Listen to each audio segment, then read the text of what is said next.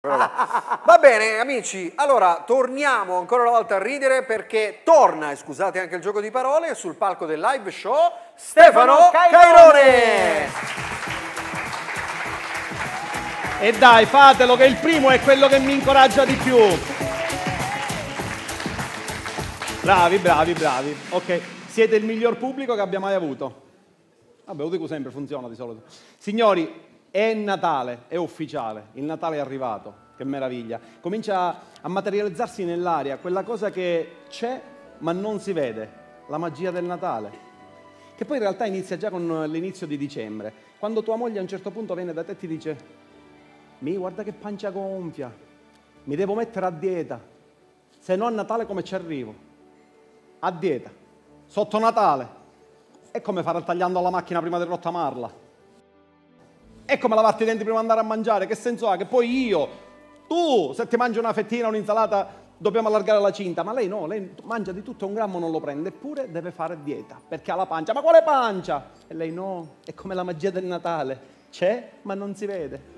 E così, e così arriva il 25, arriva finalmente Natale, tra chi mangia e chi non mangia, arriva il giorno di Natale. E si va tutti dalla nonna, che meraviglia. Si va tutti dalla nonna perché è lì che poi c'è il menù quello completo, si mangia di tutto, primo, secondo, contorno, dolce. C'è l'impossibile, ma la vera meraviglia, la meraviglia è l'atmosfera, è, è quell'aria che si respira. Non lo so come spiegarlo. È la magia del Natale. Tutto c'è, ma non si vede. Il profumo di festa, l'amore che c'è nell'aria, la pensione dalla nonna. Tutto c'è, ma non si vede. E c'è un'altra cosa che c'è ma non si vede. Babbo Natale.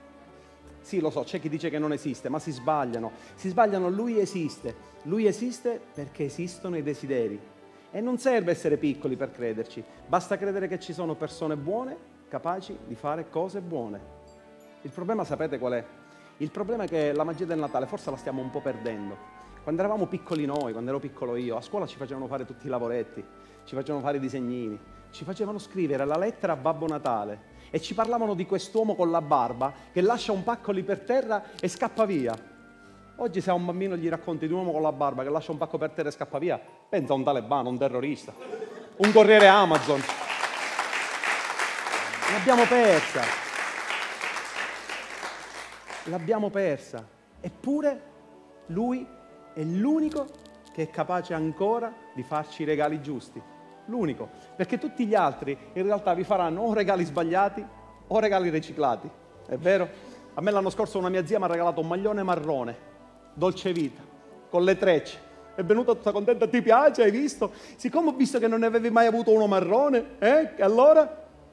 E allora se non ne avevo mai avuto uno marrone non ti viene il dubbio che perché marrone non mi piace. Era contenta, lei era contenta, però te lo devi prendere. Invece no, Babbo Natale è l'unico che te lo fa giusto perché tra l'altro è l'unico alla quale l'hai chiesto. Il regalo sbagliato è una cosa vecchia di duemila anni.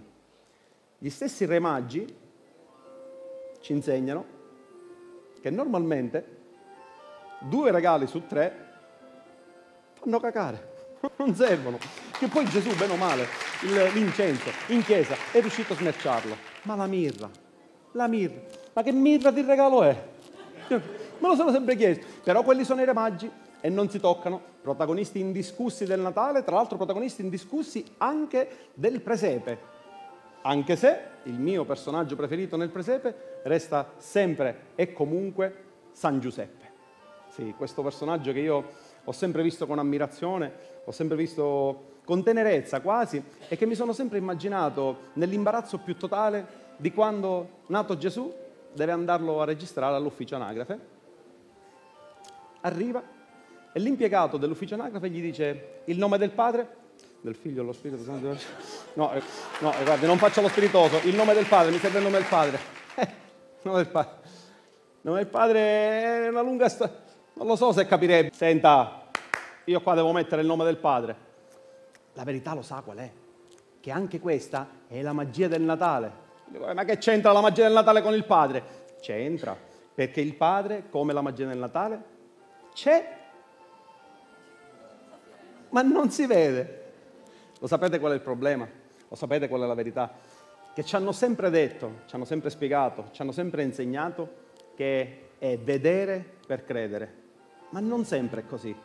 A volte le cose sono diverse. La magia del Natale, Babbo Natale, il Padre, l'amore, l'amore stesso. È solo se credi che riuscirai a vedere. Quindi, signori, aprite gli occhi e aprite il cuore, perché è Natale. Stefano Cairone. Stefano Cairone, buon Natale a tutti. Buon Natale a tutti. Va Grazie, bene, Stefano grazie a Cairone. voi, buon Natale a tutti. Grazie, Un Stefano, bacio, ciao. ciao.